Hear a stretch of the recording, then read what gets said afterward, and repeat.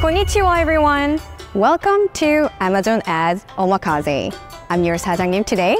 We have a sous chef, Hui We're going to serve you a special lunch, which is going to help your business on Amazon with Amazon Ads. Hi Chef, my name is David. I launched my brand in my country and I started selling about three months ago. I think local customers do find us as the market leader and we have some brand share of voices in retail stores. But I do think that I need to increase my brand awareness on Amazon.com towards worldwide customers. Hi Chef, my name is Clarence and I think I'm somewhat in a different position than David. I actually launched my product and my brand two years ago on Amazon.com and actually very happy to say that we are actually getting strong growth potential on our Amazon store. It's just that right now I think that there are greater potential for us to increase our brand awareness and to increase sales from our competitors. Can you guide us how can we actually do that exactly? I see. It seems you guys are struggling with how to grow your brand awareness. That's right. I would like to invite you to today's special, a key to brand building from sponsor ads to brand metrics. Since we have a lot of step-by-step phases to diagnose and implement different objectives, we'll dive into two parts of brand building.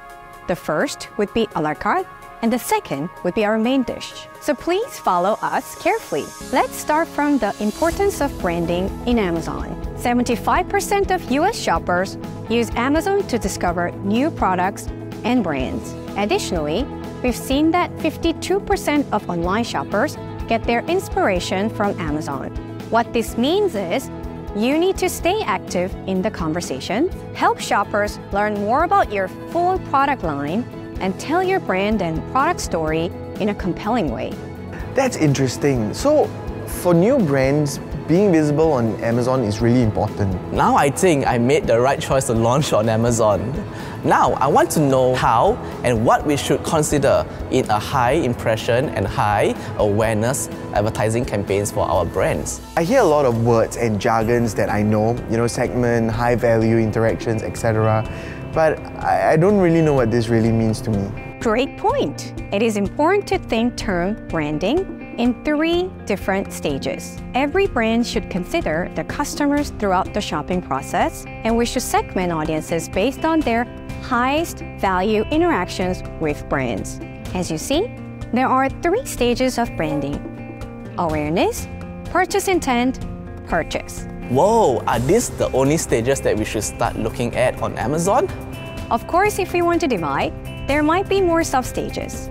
However, the core would be to see in these stages. So it seems to me that customers are divided into phases and like it's different in terms of targeting. How do we assess where our brands are? Do I focus on awareness? Do I focus on purchase intent or purchase? You are right on point. Here comes our two a la carte reports that can actually help you identify where your brand is versus your competitors. Number one, brand metrics. Number two, sponsored brands category benchmark reports. Have you ever heard of brand metrics before? And do you know how it looks like? I remember seeing it somewhere in the ads console. I don't know where, but somewhere there. I think I saw that before, but I just hadn't had a chance to really utilize it fully for my brand performance. For brand metrics, it provides a measurement solution that actually measures the impact of our upper to lower funnel Amazon marketing strategies with advertising or non-advertising insights. Let's take a quick look at how it's structured first. Please go through this process. Seller Central, Advertising, Campaign Manager, Insights and Planning, then you will see Major 2, Brand Metrics, and Brand Impression Share. Brand Metrics has actually transformed its major UI to amplify the face that each shopper as well as its engagement status. If you actually see below, you will see your shoppers. How many shoppers we actually captivate at each stage, and how did it actually grow versus the previous time period. Please click View detailed metrics for your brand in this category. For brand metrics, it's divided into four major parts. Number one, it's your brand's overall condition. The data is based on the consumer marketing and advertising activities carried out by other sellers' brands. Specific indicators will emerge. Sections 2 to 4 shows the consumer data at each stage of awareness, consideration, and conversion.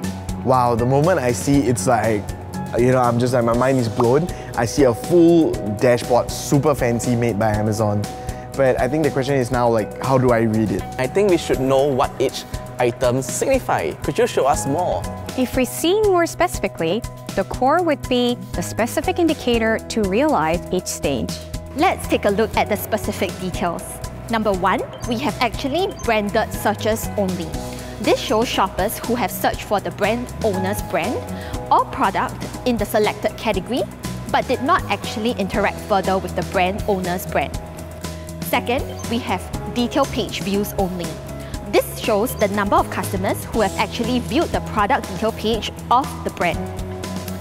Number three, we also have branded searches and detail page views. This metric actually shows the number of customers who have searched for the brand as well as viewed the owner's product detail page. Next, we have a very important metric which is add to cart.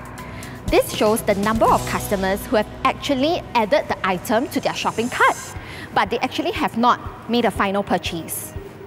The last metric we have is the top 10% and subscribe and save customers. This shows customers who have contributed to the brand's top 10% of sales, as well as those who have chose the subscribe and save option. And last but not least, we also have branded customers. Amazon customers who have actually purchased but may or may not buy again. In the next 12 months, some customers may actually purchase again, bringing extra value to the brand owner's brand. Got it. Awesome. I can view through these metrics now, whether it's good or bad. And what I want to know is that what other numbers are there besides my brand number? Like, what do all these numbers mean? It shows the category median that you can benchmark your brand's numbers. It could be lower or higher than the benchmark. Then, it's a stage that you should focus to grow on. Later, we'll use this tool how to upscale our stage of branding. Okay, satisfied with our first a la carte? Next. This is Sponsored Brands Category Benchmark Report. Have you actually had a chance to look at what's inside the report? Not a lot. However, I did launch numerous sponsored brand campaigns already. I just haven't had a chance to see this though. No worries. This report is available in Sponsored Brands. Please go through this process. Banner Central, Advertising, Campaign Manager, Measurement and Reporting, Create Report, Sponsor Brands, Category Benchmark. You can see how your brand performs versus competitors. In this report, metrics are available as impressions, click-through rate, ACoS, and return on ad spend. Let's see how it looks like. Let's look at Clarence example together. Okay, I see this column brand under category, and then I see the impressions, the click-through rate, the ACoS, and the ROAS. There are also peer impressions, bottom 20%, median, and top 25%. Wow! And take a look at this. Those are my competitors' benchmark. I see. So now I can use that as a benchmark to compare with my competitors to really see where my brand stands. That's right.